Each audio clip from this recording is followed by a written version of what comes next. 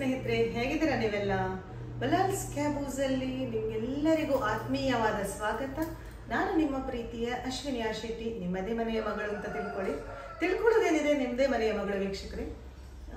ಒಂದು ಪುಟ್ಟ ಇನ್ಫಾರ್ಮೇಶನ್ ಜೊತೆ ಇವತ್ತು ಬಂದಿದ್ದೇನೆ. ಇನ್ಫಾರ್ಮೇಟಿವ್ ಅಂದರೆ ಪರೀಕ್ಷೆ ಹತ್ರ ಬರ್ತಾ ಇದೆ.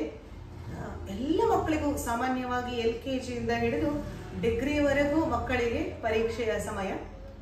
ಸೊ ಪರೀಕ್ಷೆಯ ಸಮಯದಲ್ಲಿ ಯಾವ ಥರ ಓದಬೇಕು?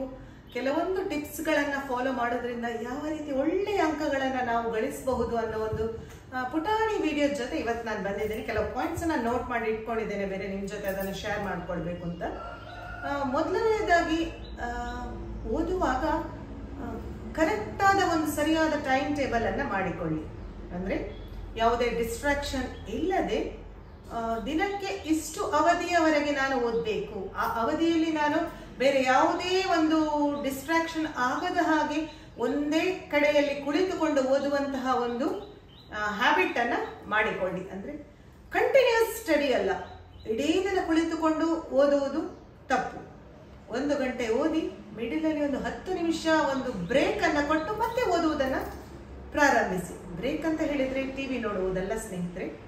ಪುಟಾಣಿಗಳೇ ಆ ಬ್ರೇಕ್ ಟೈಮಲ್ಲಿ ಅಟ್ಲೀಸ್ಟ್ ವಾಕ್ ಹೋಗಿ ಅಥವಾ ಮನೆಯಲ್ಲಿ ನಾಯಿ, ಬೆಕ್ಕು ಯಾವ ಥರ ಪೆಟ್ಸ್ ಇದ್ರೆ ಅದರ ಜೊತೆಗೆ ಆಟ ಆಡಿ, ನಿಮ್ಮ ಪೋಷಕರ ಜೊತೆ ಮಾತನಾಡಿ.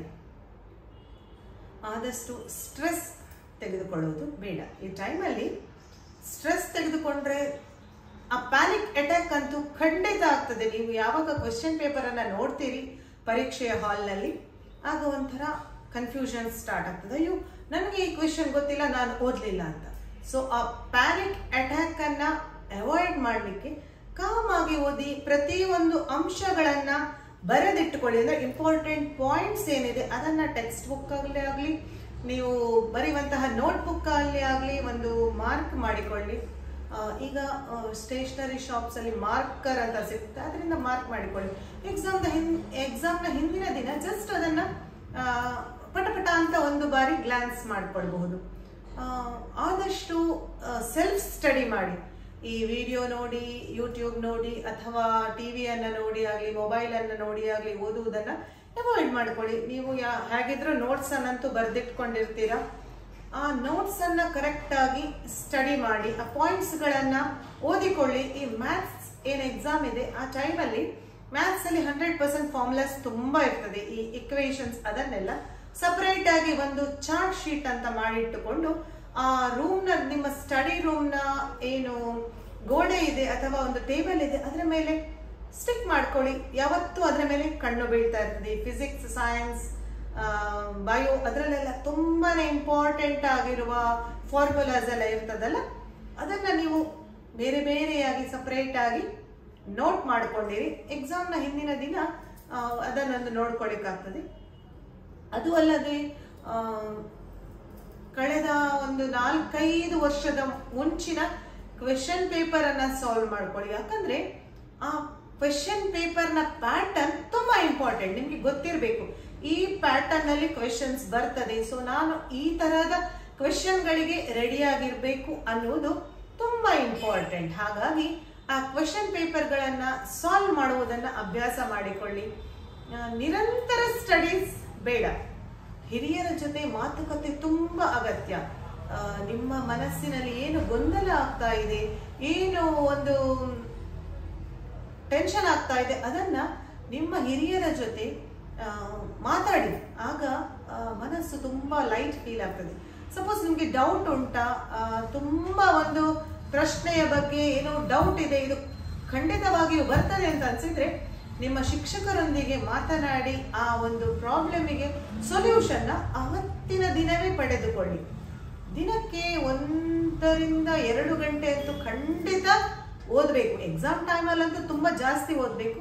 ಆ ಪರೀಕ್ಷೆ ಬರೋದಕ್ಕಿಂತ ಮುಂಚೆ ಶಾಲಾ ದಿನಗಳಲ್ಲಿ ಓದುವ ಹವ್ಯಾಸವನ್ನು ಮಾಡಿಕೊಳ್ಬೇಕು. ಗುಂಪಿನಲ್ಲಿ ಓದುವುದು ಸ್ವಲ್ಪ ಅವಾಯ್ಡ್ ಮಾಡೋದು ಒಳ್ಳೆಯದು ಯಾಕಂದರೆ ಗುಂಪಿನಲ್ಲಿ ಓದುವಾಗ ಇನ್ನೊಬ್ಬರಿಗಿರುವ ಡೌಟ್ ನಮಗೂ ಬರ್ತದೆ. ಸೊ ನಮಗೆ ಆ ವಿಷಯದ ಬಗ್ಗೆ ಕ್ಲಾರಿಟಿ ಇರುವಾಗ ಇನ್ನೊಬ್ಬರ ಡೌಟ್ ಅನ್ನು ನಾವು ಸಾಲ್ವ್ ಮಾಡೋದು ಒಳ್ಳೇದು. ಆ ಡೌಟ್ ಅನ್ನು ನಾವು ತೆಗೆದುಕೊಳ್ಳುವುದು ತಪ್ಪು. ಈ ಟೈಮಲ್ಲಿ ಆರೋಗ್ಯಕರವಾದ ತಿಂಡಿ ತಿನಿಸುಗಳನ್ನು ಸೇವಿಸಿ. ಯಾಕಂದ್ರೆ ಈ ಕೋಲ್ಡ್ ಕುಡಿಯುವುದು ಐಸ್ ಕ್ರೀಮ್ ತಿನ್ನೋದು, ಇದರಿಂದ ಎಲ್ಲ ಆರೋಗ್ಯಕ್ಕೆ ಒಂದು ಸ್ವಲ್ಪ ಎಫೆಕ್ಟ್ ಆಗ್ತದೆ ಖಂಡಿತವಾಗಿಯೂ ಆಗ್ತದೆ. ಶೀತ ಜ್ವರ ಇದೆಲ್ಲ ಬರ್ತದೆ. ಹಾಗಾಗಿ ಆ, ಅಂಥ ಒಂದು ಜಂಕ್ ಫುಡ್ ಆಗಿರಲಿ ಕೋಲ್ಡ್ ಥಿಂಗ್ಸ್ ಆಗಿರಲಿ ಅವಾಯ್ಡ್ ಮಾಡ್ಕೊಳ್ಳಿ. ಮನೆಯಲ್ಲೇ ತಾಯಿ ಮಾಡಿದ ಪ್ರೀತಿಯಿಂದ ಮಾಡಿಕೊಟ್ಟಂತಹ ಆರೋಗ್ಯಕರವಾದ ತಿಂಡಿಯನ್ನ ತಿನ್ನಿ. ಆದಷ್ಟು ನಾನೀಗ ಕೂತಿದ್ದೇನಲ್ಲ ಓಪನ್ ಪ್ಲೇಸ್ ಅಂದರೆ ಗಾಳಿ ಆಡುವಂತಹ ಒಂದು ಸ್ಥಳದಲ್ಲಿ ಕುಳಿತುಕೊಳ್ಳಿ. ಒಬ್ಬರೇ ಕುಳಿತುಕೊಂಡು ಓದಬೇಕು ಅಂತ ನಾನು ಹೇಳುದಿಲ್ಲ ಮನೆಯಲ್ಲಿ ಆದಷ್ಟು ಹೊರಗಿನ ಒಂದು ವಾತಾವರಣ ಏನಿದೆ, ನಾವು ಕುಳಿತುಕೊಳ್ಳುವ ರೂಮ್ನ ಹೊರಗಿನ ವಾತಾವರಣವನ್ನ ಶಾಂತವಾಗಿ ಇಡ್ಲಿಕ್ಕೆ ಪ್ರಯತ್ನವನ್ನ ಮಾಡಿ ಅಂತ ನಿಮ್ಮ ಪೋಷಕರಲ್ಲಿ ಅಥವಾ ಮನೆಯವರಲ್ಲಿ ಕೇಳ್ಕೊಳ್ಳಿ ನೀವು ಒಬ್ಬರೇ ಇರುವಾಗ ಒಮ್ಮೊಮ್ಮೆ ಡಿಸ್ಟ್ರಾಕ್ಟ್ ಆಗುವ ಚಾನ್ಸಸ್ ಇರ್ತದೆ. ಸೊ ಬಾಗಿಲನ್ನ ಓಪನ್ ಮಾಡಿ ಇಟ್ಟುಕೊಂಡು ಮನೆಯವರ ಹತ್ರ ಹೇಳಿ, ಸ್ವಲ್ಪ ನನ್ನನ್ನು ನೀವು ಅಬ್ಸರ್ವ್ ಮಾಡ್ತಾ ಇರಿ. ನಾನು ಯಾವತ್ತಾದ್ರೂ ಒಂಚೂರು ಡಿಸ್ಟ್ರಾಕ್ಟ್ ಆದ್ರೆ ನನಗೆ ಒಂದು ಸ್ವಲ್ಪ ಗೈಡ್ ಮಾಡಿ ಅಂತ ಹೇಳುವುದು ಸಹ ಒಳ್ಳೆಯದೇ. ಮತ್ತೆ ಇನ್ನೊಂದೇನಪ್ಪ ಅಂದ್ರೆ ಆದಷ್ಟು ಬಾಯ್ ಹಾರ್ಟ್ ಮಾಡುವುದು ಅಥವಾ ನೆನಪಿನಲ್ಲಿ ಇಟ್ಟುಕೊಳ್ಳುವ ಪ್ರಯತ್ನವನ್ನ ಮಾಡುವುದು ಬೇಡ. ನಾವೇನೇ ಓದ್ತೇವೆ, ಅದನ್ನ ಚಂದವಾಗಿ ಮನಸ್ಸಿಗೆ ಅರ್ಥವಾಗುವ ರೀತಿಯಲ್ಲಿ ಓದಿ. ಓದಿದ್ದನ್ನ ಮನನ ಮಾಡುವುದು ಒಳ್ಳೆಯದು. ಹಗಲಲ್ಲಿ ನೀವು ಏನು ಓದಿರ್ತೀರಿ ಅದನ್ನ ರಾತ್ರಿ ಒಮ್ಮೆ ಮಲಗೋದಕ್ಕಿಂತ ಮುಂಚೆ ಇವತ್ತು ನಾನು ಏನೆಲ್ಲ ಓದಿದ್ದೇನೆ ಅನ್ನೋ ಪಾಯಿಂಟ್ಸ್ ಗಳನ್ನ ಪಟ್ ಅಂತ ನೆನ್ಪು ಮಾಡ್ಕೊಳ್ಳಿ. ಯಾಕಂದ್ರೆ ನಾನು ಅದೇ ಟಿಪ್ಸ್ ಗಳನ್ನ ಫಾಲೋ ಮಾಡ್ತಾ ಇದ್ದೇನೆ. ನೈಟಿಗೆ ನಾವು ಏನು ಓದಿದ್ದನ್ನ ನೆನ್ಪು ಮಾಡ್ಕೊಳ್ತೇವೆ ನೋಡಿ. ಅವಾಗ ಸಪೋಸ್ ನೆನಪು ಬರ್ಲಿಲ್ಲ ಅಂತ ಆದ್ರೆ ಪಟ್ಟ ಎದ್ದು ಆ ಒಂದು ನೆನಪು ಬರದ ಪಾಯಿಂಟ್ ಅನ್ನ ಪುನಃ ಓದ್ಕೊಳ್ಳಿ. ಅದು ಖಂಡಿತವಾಗಿಯೂ ನಮಗೆ ನೆನಪಿರ್ತದೆ ಯಾವತ್ತೂ ಮರೀಲಿಕ್ಕೆ ಸಾಧ್ಯ ಇಲ್ಲ ಆ ಪಾಯಿಂಟ್ಸ್ಗಳ ಓದಿ ನೆನಪಿನಲ್ಲಿ ಇಟ್ಟುಕೊಳ್ಳಿ, ಬರೆದು ಕಲಿಯಿರಿ. ಯಾಕಂದ್ರೆ ಬರೆಯೋದು ತುಂಬ ಇಂಪಾರ್ಟೆಂಟ್ ನಾವು ಎಕ್ಸಾಮ್ ಅಲ್ಲಿ ರೈಟಿಂಗ್ ರಿಟರ್ನ್ ಎಕ್ಸಾಮ್ ಆದದ್ರಿಂದ ಬರೆಯುವ ಸ್ಕಿಲ್ಲು ತುಂಬ ಬೇಕು, ಚೆನ್ನಾಗಿರಬೇಕು ಹ್ಯಾಂಡ್ ರೈಟಿಂಗ್ ಹೊರಗಿನ ಶಿಕ್ಷಕರು ಬಂದು ನಮ್ಮ ಪೇಪರ್ಗಳನ್ನು ಕರೆಕ್ಷನ್ ಮಾಡೋದ್ರಿಂದ ಅಕ್ಷರ ತುಂಬಾ ನೀಟಾಗಿರಬೇಕು ಓದುವವರಿಗೆ ಅರ್ಥವಾಗುವಂತಿರ್ಬೇಕು. ಫಾಸ್ಟ್ ಬರೆಯುವುದೇನು ಬೇಡ. ಆ ಟೈಮಲ್ಲಿ ನೀವು ಮೊದಲಿನ ಒಂದು ಕ್ವಶನ್ ಪೇಪರ್ಗಳನ್ನು ಸಾಲ್ವ್ ಮಾಡುವ ಒಂದು ಟೈಮ್ ಇದೆ ಅಲ್ಲ ಆಗ ನಿಮ್ಮ ಟೈಮ್ ಅನ್ನ ನೋಡಿಕೊಳ್ಳಿ. ಆ ಅಷ್ಟು ಟೈಮ್ನೊಳಗೆ ನಾನು ಈ ಕ್ವೆಶನ್ ಪೇಪರ್ಗಳನ್ನ ಸಾಲ್ವ್ ಮಾಡಬೇಕು ಅನ್ನೋ ಒಂದು ಮನಸ್ಥಿತಿಯೊಂದಿಗೆ ಅದನ್ನ ಪ್ರಾಕ್ಟೀಸ್ ಮಾಡ್ಕೊಳ್ಳಿ. ಕೊನೆಯದಾಗಿ ಏನಂದ್ರೆ ಎಕ್ಸಾಮ್ ಟೆನ್ಷನ್ ಖಂಡಿತ ಎಲ್ರಿಗೂ ಟೆನ್ಷನ್ ಆದ್ರೆ ಆ ಟೆನ್ಷನ್ ಅನ್ನ ಓವರ್ಕಮ್ ಮಾಡುವುದು ನಮ್ಮ ಕೈಯಲ್ಲಿಯೇ ಇದೆ. ಆ, ಎಕ್ಸಾಮೇ ಜೀವನ ಅಲ್ಲ. ಅದಕ್ಕಿಂತ ಮುಂಚೆನೂ ಲೈಫ್ ಇದೆ. ಸಪೋಸ್ ಎಕ್ಸಾಮ್ ಅಲ್ಲಿ ಕಡಿಮೆ ಅಂಕ ಬಂತು ಅಂತ ಯಾರು ಕೊರಗುದು ಬೇಡ. ಎಸ್ ಇದರಿಂದ ತುಂಬಾ ಅನಾಹುತಗಳಾಗ್ತದೆ ಮಕ್ಕಳೇ ಹಾಗಾಗಿ ಎಕ್ಸಾಮ್ ಅನ್ನ ಅಷ್ಟು ಒಂದು ಎಸ್ ಇಂಪಾರ್ಟೆಂಟ್ ಅನ್ನೋ ದೃಷ್ಟಿಯಿಂದ ಓದಿ. ಆದ್ರೆ ಅದೇ ಖಂಡಿತ ಜೀವನವಲ್ಲ. ಇನ್ನು ಪೋಷಕರಿಗೆ ನಾನು ಹೇಳೋದು, ಮಕ್ಕಳಿಗೆ ನಾವು ಸಪೋರ್ಟ್ ಆಗಿರುವ, ಮಕ್ಕಳು ಓದುವಾಗ ಆದಷ್ಟು ಅವರ ಜೊತೆನೆ ನಾವು ಕೂತ್ಕೊಳ್ಳುವ. ಯಾಕಂದ್ರೆ ಅವರು ಏನು ಓದ್ತಾ ಇದ್ದಾರೆ ಅನ್ನೋದು ನಮ್ಗೆ ತಿಳಿತದೆ. ಎಸ್ ನಾವು ಎಲ್ಲರೂ ಗ್ರಾಜುಯೇಟ್ ಎಜುಕೇಟೆಡ್ ಆಗಿರ್ಬೇಕು ಅಂತ ಇಲ್ಲ. ಹತ್ತನೇ ಕ್ಲಾಸ್ ಕಲ್ತವರು ಸಹ ಮಕ್ಕಳ ಜೊತೆ ಕುಳಿತುಕೊಂಡು ಮಕ್ಕಳಿಗೆ ಸಪೋರ್ಟ್ ಮಾಡಬಹುದು. ಅಲ್ಲ? ಎಸ್ ನಾನು ಈ ದಿನ ಮಕ್ಕಳನ್ನ ಒಂದು ಗೈಡ್ ಮಾಡುವ ಪ್ರಯತ್ನವನ್ನ ಮಾಡಿದ್ದೇನೆ. ಈ ವಿಡಿಯೋವನ್ನ ಖಂಡಿತ ಮಕ್ಕಳು ನೋಡ್ತಾರೆ, ನನಗೆ ಗೊತ್ತು. ಅದು ಅಲ್ಲದೆ ಮಕ್ಕಳ ಪೋಷಕರಂತೂ ಖಂಡಿತ ನೋಡ್ತೀರಾ? ಸೊ ಈ ಕೆಲವೊಂದು ಟಿಪ್ಸ್ಗಳನ್ನ ನೀವು ಮಕ್ಕಳಿಗೆ ಹೇಳಿ ಇದರಿಂದ ಮಕ್ಕಳು ಎಕ್ಸಾಮ್ ಟೈಮ್ ಅಲ್ಲಿ ಪ್ಯಾನಿಕ್ ಆಗದೆ ಟೆನ್ಷನ್ ತೆಗೆದುಕೊಳ್ಳದೆ ಒಳ್ಳೆಯ ಅಂಕಗಳನ್ನ ತೆಗೆದುಕೊಂಡು ಉತ್ತೀರ್ಣರಾಗ್ತಾರೆ. ಖಂಡಿತವಾಗಿಯೂ ಆ, ಭರವಸೆ ನನಗೆ ಇದೆ.